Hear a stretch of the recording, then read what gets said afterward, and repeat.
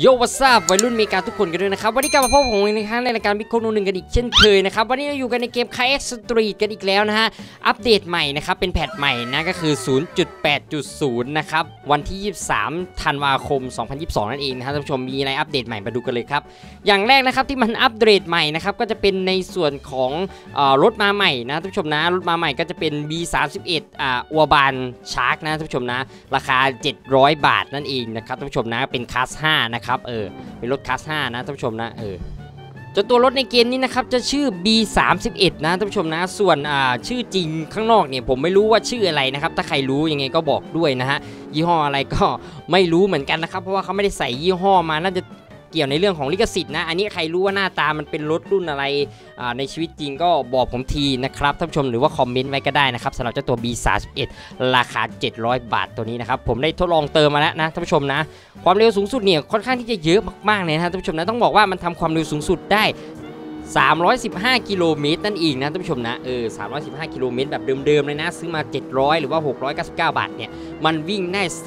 315 กิโลเมตรเลยนะท่านผู้ชมนะเออ315 กิโลเมตรถึง 316 กิโลเมตรนะครับ ถือว่าแรงพอตัวเลยนะฮะและนี่ก็คืออย่างแรกที่มันอัปเดตเข้ามานะครับสำหรับเจ้าตัว B31 อัวบานชาร์กนะท่านผู้ชมนะรถใหม่ราคา 700 ครับ โคตรึงโคตรึงสวยอยู่นะ คนดูวู้เว้ยลงล่องล้วกูนั่นติดบั๊ก อย่างที่ 2 ในแพทใหม่นี้นะครับท่านผู้ชมนะตัวเกมจะลื่นขึ้นนะครับท่านผู้ชมนะลื่นขึ้นประมาณหนึ่งนะครับเพราะว่าเขาบอกว่ามีอ่ากราฟิกอินพุ m เมนต์นะครับอินพุเวทนะท่านผู้ชมนะก็คือกราฟิกในเกมเนี่ยจะลื่นขึ้นนะครับถูกออ t ติไม e แล้วก็แก้ไขบั๊กบางอย่าง อย่างเช่นอ่าการชนการเข้าโค้งพวกนี้ให้ดียิ่งขึ้นนะท่านผู้ชมนะก็คือแก้ไขจุดบอดเมื่อแพทที่แล้วก็คือแพท 0.7.2 นั่นเองนะท่านผู้ชมนะนี่เห็นไหมก็ระดับการขับหรือว่าการควบคุมรถเนี่ยจะดีขึ้นการชน แล้วก็กราฟิกในเกมจะลดการกระตุกลงนะฮะท่านผู้ชมนะประมาณหนึ่งนะครับสำหรับชิปที่แรงอยู่แล้วก็ใจหายได้เลยนะท่านผู้ชมนะใจชื้นขึ้นมาหน่อยต้องพูดอย่างนี้ใจชื้นขึ้นมาหน่อยเพราะว่ามันจะไม่มีปัญหาในส่วนนั้นแล้วนะครับท่านผู้ชมนะเออนะ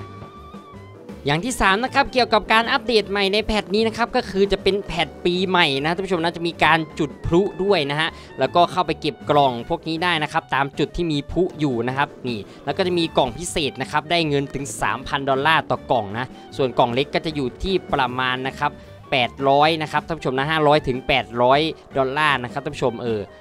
กล่องใหญ่เนี่ยแน่นอน 3,000 นะครับท่านผู้ชมนะมากกว่าการออกไปแข่งรถอีกนะท่านผู้ชมนะต้องพูดอย่างนี้เลย มากกว่าการออกไปแข่งรถจริงๆนะครับในการที่จะมาเก็บเก็บกล่องอย่างเดียวนะครับท่านผู้ชมนะ ส่วนวิธีเช็คง่ายๆนะท่านผู้ชมนะเราจะมาดูวิธีเช็คว่าพลุอยู่ตรงไหนกันบ้างนะครับสิ่งที่สังเกตแรกๆก็คือในส่วนของอ่าพลุที่อยู่ตามแมปนะท่านผู้ชมนะเดี๋ยวผมจะสอนเลยนะครับ เมื่อท่านผู้ชมเปิดแมปมาแล้วเนี่ยท่านผู้ชมนะท่านผู้ชมจะเห็นในส่วนของรูปพลุนะครับ แตกปุ๊ปะปุ๊ปะในแมปนะเห็นไหมนะเห็นไหมดูใหม่นะนี่นี่ในแมปนะครับเออเราก็จะทำการแบบว่า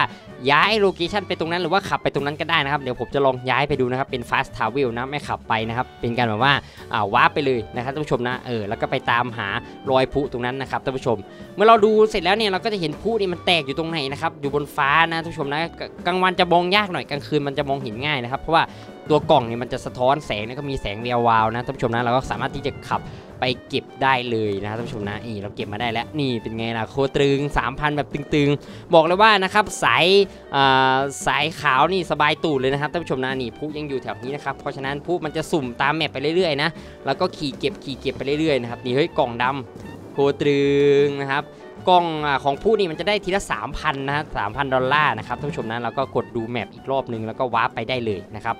นี่นะฮะเราก็แบบตามเก็บตาม map ชิวๆเลยนะครับท่านผู้ชมนะมันได้ทีละ 3,000 เลยนะกล่องละ 3,000 เลยนะครับ กล่องที่เป็นสีอย่างเงี้ยนะฮะมันจะได้ 3,000นะครับเป็นกล่องพิเศษของปีใหม่นะครับถ้าเป็นกล่องปกติมันจะได้แค่ประมาณ 800ถึง1,000 ดอลลาร์นะครับแต่ว่ากล่องนี้พิเศษเนี่ยเราก็จะดูวิธีการสังเกตนะเออเห็นพลุบน map อะไรเงี้ยหรือว่าเรากำลังขับอยู่แล้วเห็นแล้วก็ warp ไปได้เลยนะครับแต่ว่า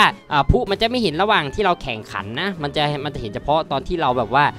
ออกมาข้างนอกมาสำรวจอะไรอย่างนี้นะครับแล้วก็จะมีในส่วนของ map เนี่ยจะมีโซนเปิดใหม่นะท่านผู้ชมนะตามพื้นที่ว่างเปล่านะครับตรงนี้ก็จะเปิดใหม่เพิ่มนะครับคือก็เพิ่มในส่วนของแผนที่เข้ามานะครับเกร็ดเล็กเกร็ดน้อยนะเห็นไหมตรงนี้ก็จะเพิ่มในส่วนของลานบินเข้ามานะครับแล้วก็ริมชัยริมน้ำนะท่านผู้ชมนะ ต้องสังเกตดูดีนะครับเพราะรู้สึกว่าเขาจะเปิดแผนที่ใหม่เยอะนะครับในในในโซนกว้างๆนะฝั่งขวาฝั่งนู้นนะครับท่านผู้ชมเออดูตาม map เอานะครับแล้วก็เปิด shop tuning เยอะขึ้น เปิด shop ตรงนู้นตรงนี้เยอะขึ้นนะท่านผู้ชมนะ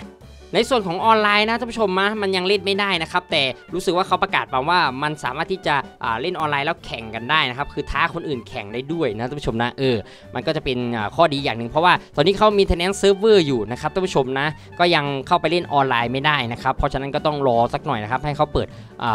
เมนูออนไลน์นะครับ เพราะว่าเขาปิดปรับปรุงชั่วคราวนะ เออต่อมานะครับท่านผู้ชมนะก็จะมีรถเข้ามาใหม่ 4 คันนะครับ ได้แก่ HI5 นะครับ B31 TM2 และ S14 นะท่านผู้ชมนะเราจะเริ่มที่ S14 กันก่อนเลยนะครับ อันนี้ราคา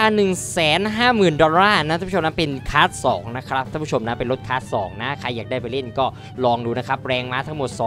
222 เอ้ย 220 แรงม้านะท่านผู้ชมนะความเร็วสูงสุด 226 กิโลเมตรต่อชั่วโมงแบบเดิมๆนะครับท่านผู้ชมนะเออประมาณนั้นนะครับในคันแรกนะครับ S14 นะฮะ ขันต่อมานะครับจะเป็น HI5 นะท่านผู้ชมนะก็ข้างนอกผมไม่รู้ว่ารุ่นอะไรนะรุ่นจริงนะครับแต่ว่าในเกมมันเขียนว่า HI5 นะเป็นรถคลาส2นะครับเออคลาส2 220 แรงม้าเหมือนกันความเร็วสูงสุดอยู่ที่ 229 กิโลเมตรต่อชั่วโมงนะครับราคา 170,000 ดอลลาร์นะครับเออเป็นราคาเงินในเกมนะฮะท่านผู้ชมนะ ต่อมานะครับจะเป็นรถรุ่น TM2 นะท่านผู้ชมนะก็จะอยู่รถคลาส2เหมือนกันนะครับแรงม้าสูงสุดอยู่ที่ 280 แรงม้า ความเร็วสูงสุดอยู่ที่ 234 กิโลเมตรต่อชั่วโมงนะครับ ราคา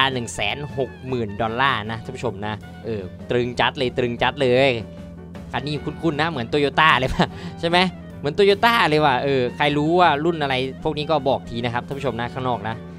และคันสุดท้ายพระเอกของแพทนี้นะครับท่านผู้ชมนั้นก็จะเป็น B31 นะ แล้วก็จะมีเป็นรถคลาส3นะครับท่านผู้ชมนะแรงม้าสูงสุดอยู่ที่ 381 แรงม้าความเร็วสูงสุดอยู่ที่ 253 กิโลเมตรต่อชั่วโมงนะครับราคาซื้อนะครับอันนี้ต้องเติมเอานะเป็นเงินเติมนะครับ235นะครับ235 นะ เออแต่ว่าผมไม่รู้ว่ามันแปลงเป็นเงินไทยบาทเราเท่าไหร่นะครับท่านผู้ชมนะเออคันนี้ผมก็ซื้อมาแล้วนะครับแต่ว่าซื้อในเซ็ตที่แบบว่าแต่งเต็มเรียบร้อยนะครับเป็นคลาส5เลยก็คือ 699 นะครับท่านผู้ชมเออโคตรตึงรถทุกคันจะเป็นขับเคลื่อนล้อหน้าเอ้ยขับเคลื่อนล้อหลังหมดนะครับท่านผู้ชมนะรถทุกคันจะเป็นขับเคลื่อนล้อหลังหมดเลยนะครับเป็นอ่า rear-wheel drive นะท่านผู้ชมนะเออไม่ใช่ front-wheel drive แล้วก็ไม่ใช่ออวิวไดนะ โอเคนะครับท่านผู้ชมนะที่มีอัปเดตล่าสุดทั้งหมดก็จะมีประมาณนี้นะครับใน patch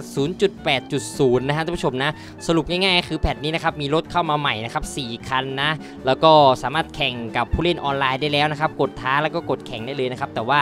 ยังเปิดให้เล่นไม่ได้นะครับน่าจะเป็นเซิร์ฟเวอร์อ่าเขาเรียกว่าเซิร์ฟเวอร์ซ่อมแซมอยู่นะครับท่านผู้ชมนะ maintenance อยู่นะครับอันนี้ก็ต้องรอนิดนึงนะครับแล้วก็อีกออย่างหนึ่งที่เพิ่มเข้ามาก็จะมีในส่วนของ Speed Line นะท่านผู้ชมนะเขาเรียกว่าคลับใหม่หรือว่า mission ใหม่เข้ามาเหมือนกันนะครับท่านผู้ชมตัวนี้ก็ต้องใช้รถขั้นต่ำประมาณคลาส5ขึ้นไปนะฮะในการเล่นนะครับท่านผู้ชมนะเออประมาณนี้นะครับใน patch 0.8.0 นะ ส่วน Android นะครับยังไม่เปิดให้เล่นนะวันที่ถ่ายปัจจุบันนะครับก็คือวันที่ 23 เดือน 12 ปี 2022 นะ PC ก็ยังไม่เปิดเหมือนกันนะครับประกาศเล่นทั้ง 2 แพลตฟอร์มเลยก็คือ Android แล้วก็ PC หรือว่าคอมพิวเตอร์นั่นเองนะท่านผู้ชมนะส่วนใครนะครับถ้าชอบคลิปนี้อย่าลืมกดไลค์กดแชร์กด Subscribe กดกระดิ่งแจ้งเตือนเพื่อเป็นกำลังใจให้ทำคลิปดีๆแบบนี้ต่อไปด้วยนะฮะแล้วเจอกันใหม่คลิปหน้า อย่าลืมกดไลค์กดแชร์กด Subscribe ด้วยนะจ้าเจอกันใหม่จ้าบายจ้าโคตรึงโคตรึงร้าน Richman Shop ผู้ให้บริการเติมเกมออนไลน์ 24 ชั่วโมง การันตีคุณภาพจากผู้ติดตามในไลน์ถึง 300,000 คน เติมเกมชั้นนำในราคาสุดคุ้ม ปลอดภัยด้วยระบบ Official เพียงแอดไลน์ @richman shop หรือเว็บไซต์ www.richmanshop.com เติมเร็วดังสายฟ้าดูแลดุดญาติมิตร เติมถูกเติมไวปลอดภัย 100%ด้วย Richman Shop ว้า